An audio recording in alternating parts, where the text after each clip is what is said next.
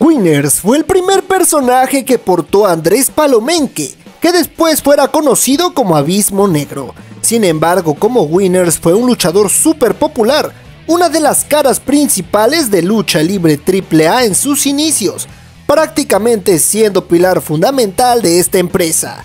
Y al hacer pareja con Super Caló, hicieron un boom distinto dentro de la lucha libre mexicana al combinar la lucha y el baile pero las políticas en backstage hicieron que el personaje de Winners se fuera abajo.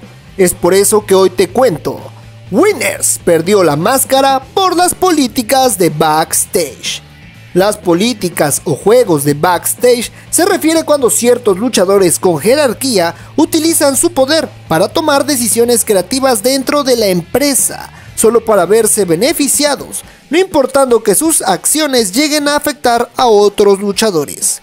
Esto le pasó a Winners, y es que este luchador junto con Super Caló habían hecho una gran pareja en 1993, llamando la atención del público, pero algo pasaría, llegaría un joven luchador de Tijuana, Rey Misterio Jr., este luchador se integraría con Super y Winners haciendo una super tercia, tercia que revolucionó el estilo de la lucha libre mexicana al entregar grandes combates al lado de Psicosis, Picudo y Juventud Guerrera.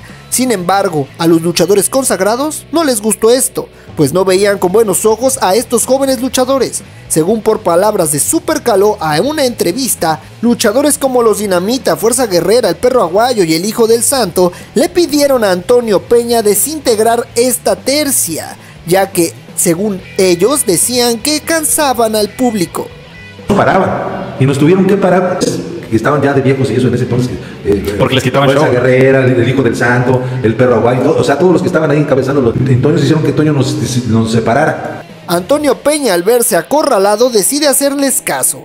Rey Misterio es separado y empieza a alternar con el Hijo del Santo, con Octagón y otros luchadores consagrados mientras que Super y Winners los relegaron a cuartas luchas nuevamente. Y es ahí cuando Antonio Peña toma la decisión de hacer la ruleta de máscaras de Triple Manía 3, en donde Winners derrota a Marabunta, Caló derrota al Ángel Mortal y la gran final sería entre Winners y Super Caló en máscara contra máscara, siendo Winners el gran perdedor.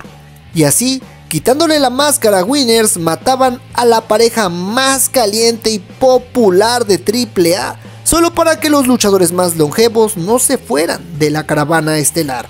El personaje de Winners duró un año más sin máscara.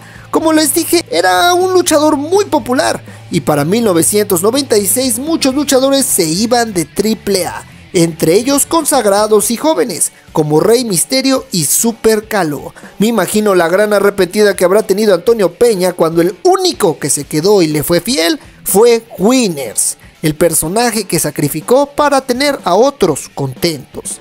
Así que Winners tuvo un último empuje haciendo tercia con Latin Lover y Heavy Metal. Pero ya para finales del 96, Antonio Peña tomaría la decisión más radical desaparecer a Winners y crear un nuevo personaje.